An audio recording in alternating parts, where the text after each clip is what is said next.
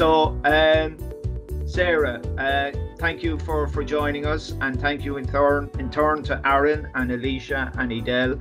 Sarah, you're in first year, as is Aaron, and Alicia and Edel, you're both in year four, and currently the year fours are out on school placement, and our year ones are working online uh, as we proceed into semester two, and the year one program is coming to an end. So, Sarah, would you maybe just tell us a little bit about yourself and what you were doing before you joined us in Thurles and, and why you, you chose us? Okay, um, well, I live in Thurles and I didn't really actually know that uh, MIC really, I did know it existed in Thurles, but I wasn't too sure of everything that it, it had. And um, I suppose at the beginning I wanted to make a change. So I wanted to do something different. And uh, I decided one of the days I was just going to go up and check and see if the college was open and see what they had available. And uh, lo and behold, they had a course for me. And I started to get excited the minute I found out that there was a course there for me. So um, then I went to the after, shortly after that I filled out the CAO and went through all the processes and then uh, I went to the open day and once I went to the open day I kind of realized this is where I'm supposed to be because I just felt um well actually it was Finn your your um what you were saying on the day your announcements and things like that you had said that it's a place where you feel like you'd belong and i really did that day really did. And uh, i came out excited even more so i couldn't wait to start in september and then of course covid hit so we couldn't really get to go in well we did the first day for the orientation but um say from the online experience it's been i suppose a bit of a downer for everybody but mm. um no it's been great still like i still get to I don't know, like I feel the lecturers are really kind, really good. Um, obviously to even try to get to know you as a person when there's 140 odd first years, it's it's amazing actually how we can still get the one-on-one chats and talk. And uh, I've met up with people my own age, and I've also met people. I've a few good friends that are 18 and 19, so it's great. Like it's been fun, and uh, I can't actually speak highly enough of the college, to be honest, because even all the um, even with maths and business, um, all the subjects are so interesting. Like I don't know if it's just my age or whatever it is, but I think that I find it um, every topic that I can that I can uh, kind of I suppose um, tune in, even though it's online, and I still have 150 things to do in the house that I can still focus because I'm interested in it, you know. So very good. And you, are thank you, Sarah. And you're chatting to us today from a car because you're collecting yes. kids and so forth. And how did yes. you juggle that with with with Smallies and college and timetabling um, and, and and that? Well, myself and my husband, I suppose, we're taking it in turns. and uh, I'm going now over to Cashel to pick up my son because he drops him every morning at seven o'clock and it's my turn to pick up, but he has a job going. So, and I have my older daughter at home minding my little guys. So, okay, all right. We're all and, juggling everything. And and were you, did you have a choice around some aspects of your timetable that you could choose that it was negotiated or negotiated with the college? I could have done. I could have had but the like that. There's tutorials there from five to from four to six on a Tuesday, and I could have twisted it around to kind of make it a little bit easier. But being online, it's not so bad. Yeah. I can always um, get the kids in. They they do their own thing anyway now. They're kind of big enough, some of them as well. So it's fine. But um, I could have juggled it around if there was never a problem. I was always told that if I wanted to, I could change into a different tutorial group to make it easier for me. But everything's kind of fallen into place. It hasn't been hasn't been it hasn't been that hard.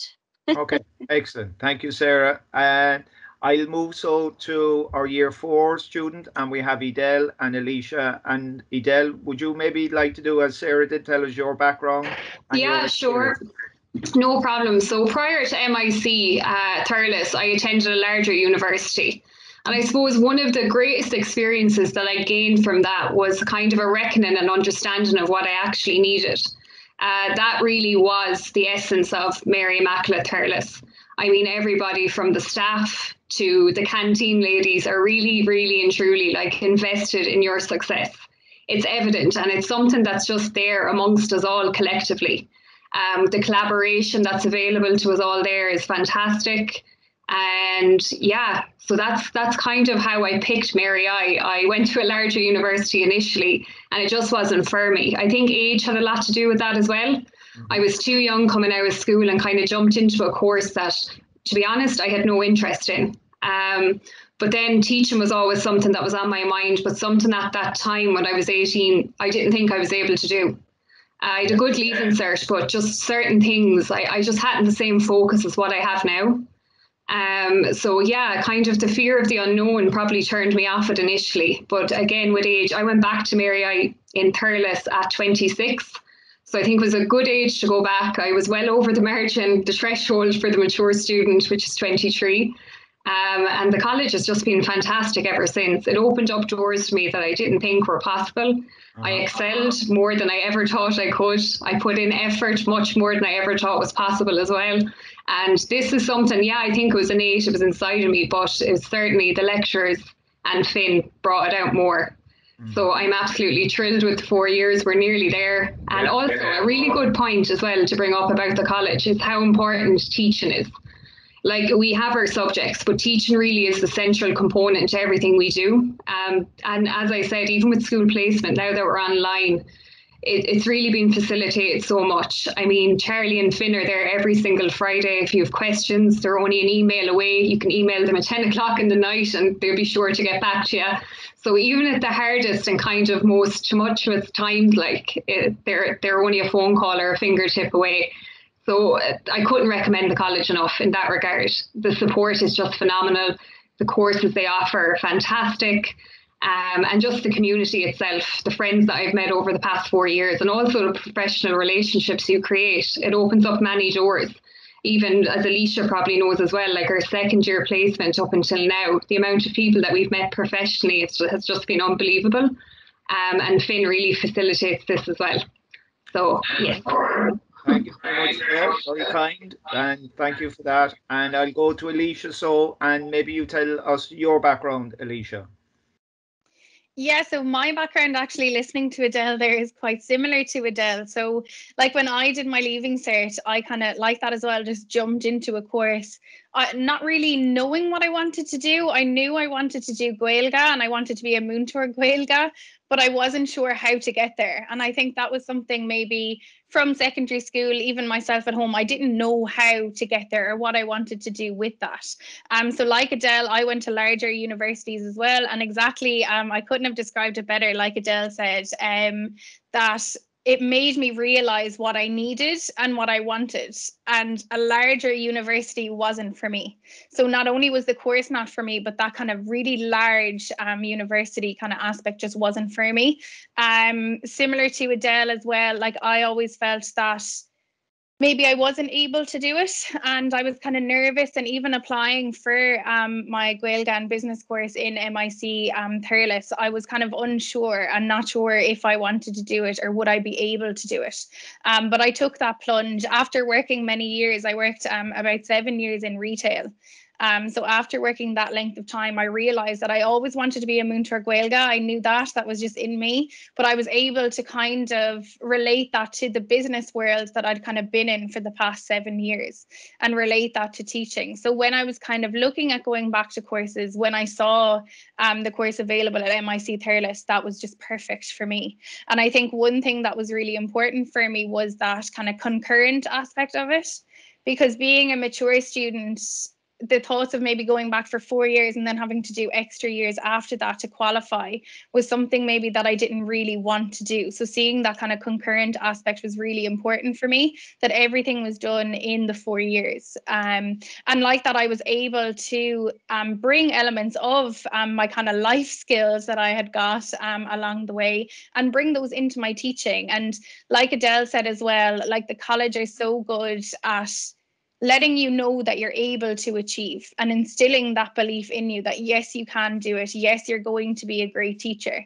Um, because i think there is that uncertainty and i think it is kind of common among mature students when you go back to college that you are kind of unsure if this is the right path. Maybe you have done things before and it hasn't worked out and you might be taking that kind of leap to see if it will work out for you. Um, but the college is amazing at bringing that out in you and knowing that you can achieve in my time in the college, I knew as well MIC Thurles was for me because of that kind of smaller um kind of college aspect that like um, I think Sarah mentioned it as well, the relationship with the lecturers and the lecturers wanting to know your name. It sounds so small, but it's something that just makes a massive difference that they want to get to know you, they want to know your name, and creates that culture of being able to ask questions um, as well, and just getting help if you do need it, and which is something that is instilled in us as future teachers, but also kind of reciprocated by the college also. So kind of practicing what they preach um, in the college. Um, another thing as well is like Adele said, just those professional kind of connections that you make throughout the few years are incredible as well. And I was lucky enough for my third year um, placement to go to Japan um, for school observation in Tokyo. And looking back now at that person who applied for the CAO and thinking of not only going to Japan or things like that, but even just going out on school placement and succeeding and getting through it and actually loving it. I don't think I ever would have thought that back then. And I think I still had that kind of unsure element, but the four years have flown and I have achieved and I have got there. I'm at the end, but there is no way I would have got there without the, the support of the college and the exact college that I am in. I think that's something really important, and that credit needs to be given to MIC Thurles, to Finn, all the lectures that that was instilled in me that I could do it from the college, and that definitely helped me proceed and get to where I am now, nearly there, the final well hurdle. Done. Well done, indeed, nearly there, indeed. And we'll finally we go to Aaron, who's been waiting patiently. And Aaron, you're in first year, so you've had an online experience, uh, and maybe you'd like to tell us where you were before you joined us this year. Well, funny enough, I kind of came full circle. I did my leaving cert in 2013, and before that, I actually went to the open day of Mary Immaculate College way back then and I thought it was great and everything, but I'm kind of my own worst enemy. I always thought that maybe I wouldn't be able for it, teaching, you know, I wouldn't have that ability. So I kind of got sidetracked, sidetracked, and I did a PLC course in business, and I loved it. And got sidetracked again, went into the healthcare course, PLC, loved that, and ended up working seven years with adults with intellectual disabilities. So in a way, I was kind of teaching them. I was kind of unknown to myself. I was nearly practicing already, mm-hmm. and then had a tough year last year work wise, and to, asked a friend. I says I don't really know what to do, and the friend says, "Do you remember you were always talking about teaching?" Which I had forgotten, but obviously I said, "Yeah, okay." So I applied for it, and I says, "If I get it, I'm doing it," and I got it, and I was delighted. And since that open day in September, or the introduction in September, I haven't looked back. It's been amazing. Everybody's been so so so nice, and like I said, I always like um, lacked a little bit of confidence. I always thought maybe I couldn't do this, but I think as Alicia was saying there, the lecturers are like, yes, you can do this. This is quite good. You know, the the encouragement and the the confidence that they give you is great. And plus, because I kind of benefit from a little bit of one-to-one tuition even online all you have to do is just email a lecture and they're there on a teams meeting the next day. It's great. It's been it's been more than i could have hoped now since it started. Good stuff. Thank you aaron. So four fabulous stories folks. Uh, and and and i take the point about the teaching being central and and very very important but you're you're you're studying different subjects. So maybe if I go to uh, Edel, you're you're you're studying uh, theology studies. And, yeah, and, and business studies. Yeah. yeah, so I'm doing business studies and religious education along with obviously the educational component to that as well. The modules yeah. are just fantastic. Uh, I really and truly cannot believe how much I loved the religion course once I started it. It was something that I kind of felt comfortable with. I was good at English. I did well in it in the Leaving Cert. So I just thought it was kind of going to be an essay based kind of four years and, and that kind of a thing. So I was comfortable with my writing skills. So I, I just thought it would be fine. Little did I know how fantastic of a subject it is. Like it's so interesting. And not even, it's not just interesting to learn, it's fantastic to teach it offers a space, I think, like no other subject does in a school environment. It's a space where people can really be diverse and inclusive and own themselves. Like you're dealing with kids that are 12 to kind of 18 years of age. And to see the maturity and the respect when they're learning about different religions and discussing morality and all these things, it's just fantastic to see and to be a part of. I think oftentimes, like on placement, I'm learning as much from them as they're learning from me. Um, but the course is just brilliant. The modules are great, and Jonathan and Tom are two religious education lecturers, and they're just their knowledge is unquantifiable. They're fantastic, and the the knowledge that you gain within those lectures. I think in my year, am I right in saying, Finn, there was 2018 religion students? A tiny group. When you see the size of the lecture halls, it's it's a really tiny number. So the questions that you can ask and get answered within the hour is just fantastic. And as I said, I attended a larger university before this, and it just would have been impossible to kind of grow and develop in a lecture based situation the way I have. Um, and business studies is great as well. Um, there's a wide range of, of kind of different elements to that too, from financial maths to marketing, economics. So whatever you're kind of good at, whatever your niche is in business, you're you're certainly going to cover it. And I think the grading system is great as well across the board for both subjects. Uh, we start our QCA in second year. It gets larger then in third year and then the finally in fourth year. So it allows you to build yourself as well allows you to become better. It's set up that way. So if you have a rough year in the first year and you you kind of pass and you're still unsure of your confidence or your skills, you know, if your confidence is lacking, to build up that way really, really helps with that. It helped me massively. Um, I started off by saying, well, look, if I don't like the first year, it's only a year, I'll just try and see. But it really wasn't that for me. I, I knew, I always knew I wanted to be a teacher. I was just afraid to do it. Uh, that fear was taken away immediately after I entered our college, just by how nice and approachable the lecturers are. I know it's not an easy feat to go back to third level education, but if you are going to go back and you're nervous about kind of your, your skills and your abilities, I definitely would recommend Mary I Thurles. Very good. I, I get the sense, and I, Alicia, you brought it up as well, that you you're coming with a skill set already and I, I, guess part of what we try and do in the college is to draw on that skill set to bring you to the next level, to the next area of development. And from, like Alicia, from a Gaeilge point of view, what advice would you give to somebody who, you know, might have a love for Gaeilge, have a love for teaching Gaeilge, but might have been in that environment for for a few years? What what advice would you give somebody thinking of joining us? Um, well, myself, like I was out, I, I didn't really speak Gaeilge that much at all um, during my time um, outside of school at all, really. Um, because I knew I wanted to be a Múinteoir Gaeilge because I loved Gaeilge so much. I did go back and do like just a mini night course, a course of Crinish, just to kind of improve my grammar and things like that to keep it topped up. But my my Gaeilge labhartha, my spoken Irish was not good um, at all. And it would have been in, in my leaving cert, it would have been. Um, so that was something that I was worried about and conscious of um, starting in college. But you would be surprised how quickly that does come back.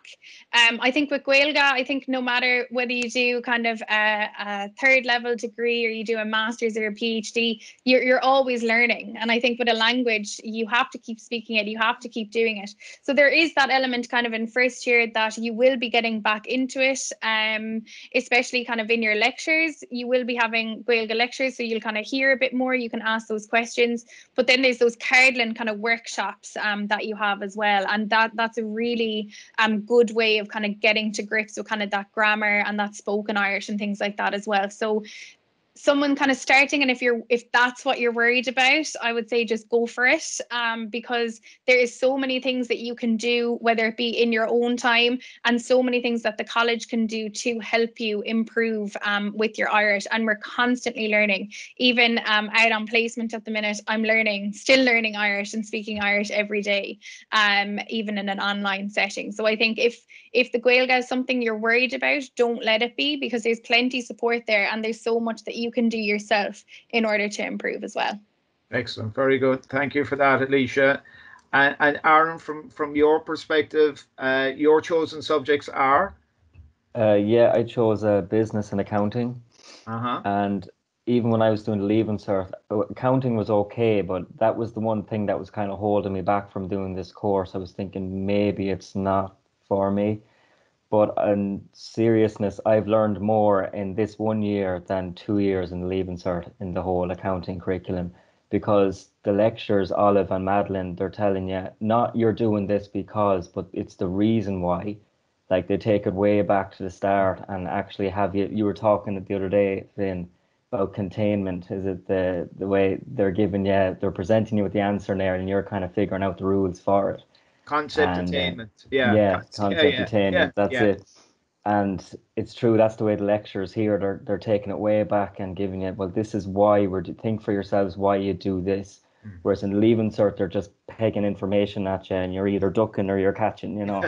um, but yes, they, so I had, did have worries coming into the accounting part of it, and it's it's one of my best subjects now mm. which is great. So um, and for business as well, the maths I thought would I'd struggle at, but it was fine. And Maria was great lecturer for the first semester, and um, in fact the whole I know the whole class found maths really really enjoyable part of it. So yeah. Excellent, very good. And just to, to say as well, um, those academic supports are there, be it you're concerned about your writing, there's academic support to improve your writing, and we got Ruth in the library doing a lot of work there for students as well, uh, as well as the academic learning centre. And we also have then uh, supports for Gaeilge and, and and mathematics. So there's there there's additional supports. And I guess one of the one of the, the questions I'd have for you is what I often say when people ask me about Thurles, and Sarah, come in again if you can on this one, is the um, probably the greatest support is actually your peers, is is the people that are in your company, and as a mature, you'll be one of many matures. I know matures often think like, and by the way, for anybody who's not sure, as Edel said, a mature is over 23. So, you know, I don't know where that leaves people like me if over 23 is mature, but anyway, very mature, ripe. but um, from from the, say that, Sarah something like myself, very no, mature. No, no, no, no, no, Sarah, no, no, no. we're we're not we're not we're not there. Okay. Um, what what I would say what I would say is the from a college perspective, we find the students who, for one reason or another, are seeing Thurles as a second chance. Maybe they've been in another college, or maybe they've they've they've gone into work, as you were saying, Aaron, and they, they needed a, a change. And and quite often it's not so much a change as in doing something different it's doing something that you always wanted to do. But from our perspective i suppose i'm i'm, I'm long-winded on this is what i'm trying to say is the matures are most welcome because you bring a dynamic you bring uh, life skills you bring a different voice and you bring an energy into the classes. So you know for anybody listening it's quite the opposite. The matures are the people that we really do celebrate having in our company for all of those reasons. And while you as a mature might feel you stand out like a sore thumb, very quickly you realize that there are other matures in your company as well. Uh, and I think that that that always helps.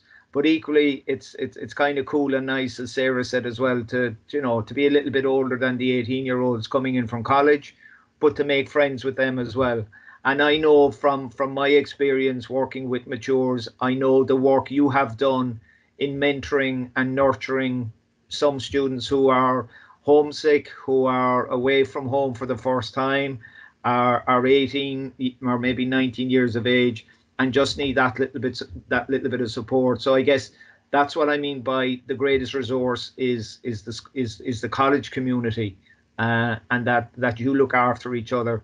So I guess small small is beautiful in that sense that we're we're we're we're, able to connect.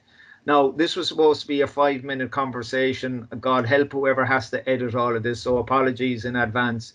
Um, but as as we draw to a close, um, and thank you so much for your lovely words, and I'll pay you later. But no, as as we draw to a close, and thank you for your for your lovely words and and your engagement today and every day. Um, is there anything that you'd like to add uh, in in giving a message to somebody who's out there who's listening to to to to this and who might be you know might be interested but mightn't be too sure? Uh, just to kind of reiterate what Alicia said, go for it um, you're not going to lose anything. Oh, at the very, very worst, you're going to meet a great bunch of people and try something new and challenging. Uh, a big fear for mature students going back would be the fear of failure. Can I do it? Will I fit in? Am I actually able for this? Am I mad giving up a full time job to go back to, to education? The answer is no, you're not. You're questioning it for a reason. You need a challenge. I remember reading somewhere uh, lately, or it could have been Nigel actually that came out with this. He said the purpose, what was it? The, the purpose of life is to find what you love, but the meaning of life is to share is to share that love, and that's something I think that teaching is in essence. It's fantastic. Collaboration, mixing with people, learning yourself, and, and sharing your talent with other people is is brilliant and that's something that MIC Thurles does in leaps and bounds. It's really a fantastic place. So if you're doubting it at all, don't just do it. Okay. We'll we'll we'll, we'll apply the just do it approach. Thank you, Edel. Alicia, do you have anything think, to add? Yeah, just to come in and just just what you mentioned there about just about matures kind of being in that college kind of atmosphere and things like that and kind of will like Adele said, will you fit in and things like that. I think and and like you said Finn there about kind of nurturing other students who maybe might be homesick or things like that. I think that is, that is something that I, I'm sure that we would have encountered as matures, you know, kind of giving maybe advice to maybe um that, that kind of younger generation.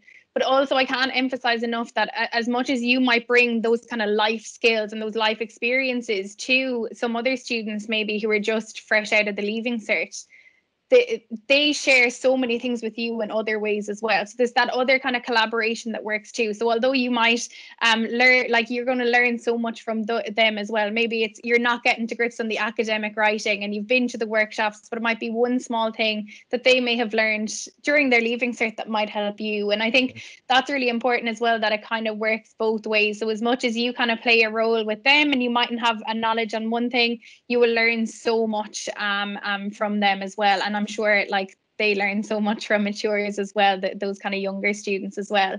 And just to go back to what Edel said as well about just kind of jumping in and taking the chance, the worst thing that could happen is that you don't like it and now you're one step closer to finding what you do like. Um, and i actually think finn that might have been something that you said on one of our first days in college actually i think that the worst thing that can happen is that you realize it's not for you and then you realize what you actually do want to do. Um, so i think that's something that that is important as well that you won't know unless you take the chance. So definitely go for it. Um, along the way you'll pick up new skills anyway and you'll never know they might um, benefit you in what you do want to do Excellent. Thank you. Lisa. And another thing, Finn, I know a lot of people since they started the course maybe found out that teaching wasn't for them, but they still have a business degree and a degree in either religious education, Gaeilge, mm. or mm-hmm. accountancy that they can do lots of different things with as well. So that's important to note. If, if you're kind of second guessing the teaching part, there's a degree there also readily yeah. available, and you can teach in businesses and companies different different positions like that. It doesn't necessarily have to be a classroom. So if that's your fear, I would kind of leave that one at the door because there's so many things that the degree can bring. If it's not teaching, it can be a million other things. Okay, that that's a very good point as well, and it links with Alicia's one about the concurrent because they're both happening at the same time anyway. And yeah, there are so many skills uh, that you learn through your teaching that you can apply in in the workforce anyway uh, be it leadership management induction mentoring all all, all of that absolutely Very good. Uh, Sarah, if you you don't you don't have to come on camera if that's a problem. If you just wanted to say maybe one bit of advice for somebody thinking of joining us who happens to be uh, classified as a mature student. Yeah, sorry, hi Finn. Yeah, it's just the area might be a little bad if you can hear me. Hopefully. No, we can hear you. You're fine. Oh, you? Okay, that's Go good. for it. Um, yeah, no, like that, and like what the girls are saying, Alicia and Adele, just to reiterate that, I suppose, as in, um, I wouldn't think twice about it. Now looking back, I'm like, um, and it's only been a few months for me. Like it's only been, I don't even know, seven months now at this stage. But um, I can't, I can't imagine myself doing anything different at the moment. And uh, I'm loving it. I'm loving every minute of it. And I just, yeah, I'm, I'm, I'm surprised I didn't do it earlier. And um, but like Finn, you always say there's a time and a place, and what's for you won't pass you. So, um, I believe in that, and I think that even if if you visited the college, um, it's such a a, a warm environment that um that I believe that you'll think it's for you if it is for you. So, um, yeah, Thank you, Sarah. Yeah, and that that's one of the the the, the many downsides, obviously, of of COVID, is we can't share the space, and and the space itself is is powerful. Never mind the people who occupy it. Um, so you know, it's a it's it's a majestic building on a majestic setting, and it is a little oasis. And as as you kindly said, it is a place where you're allowed grow, develop, and blossom, and um, and maybe give things and give yourself more to the point another chance at becoming who you were always supposed to be, which is Tara Westover's piece, I think, and that we shared as well with the four Yeah. years. right. And and Sarah, yeah, because you bought the book, didn't you? I did. Yeah, you it's did, very you- good. Yeah, yeah. That that yeah that. T- Tara Westover, yeah, educated, um, and that's that's. Finn, that's- I, I recently used that and referenced you. I thought you said that. okay, I suppose, yeah. just don't tell Tara. But it, it it is on the slides. There's a picture of the book. There's a picture of the author. Yeah, Ó Murchú, anyway, it's my reference. ah, sure. Who knows? We might be related. Thank you, thank you for that. Um, and and Aaron, finally, one one piece of advice you'd give to if you if you met Aaron, uh, the Aaron that you were this time last year, what what what would you be saying? What bit of advice would you give? Oh, I'd start by slapping him on the head and saying, "Doing it, do it." You know, it's. I mean, like education is probably it's the best investment you can do. You know, and like that, it, this year's absolutely flown. I have three years left. They're gonna, the girls will tell you they're gonna fly as well. So um, yeah, just do it. And again, if you have any problems, I mean, the lecturers they respond to you with I don't know what they do outside of school, but they respond to you within an hour. You know, with an answer and are you okay? And Mhm. just great, real, real warm environment like that. Yeah. Very good. Okay, I think on that note, we'll draw to a close. Can I thank you all so much for giving up of your, your time? Very busy schedule. I know year fours are out in placement. Aaron and Sarah uh, have many an assignment to complete as well as we approach the Easter break. So uh, if you are out there and you're interested in joining us, you might see Del and Alicia doing post grad work, but you most definitely will see Aaron and uh, Sarah uh, in September. And I think that's another dimension to the work as well.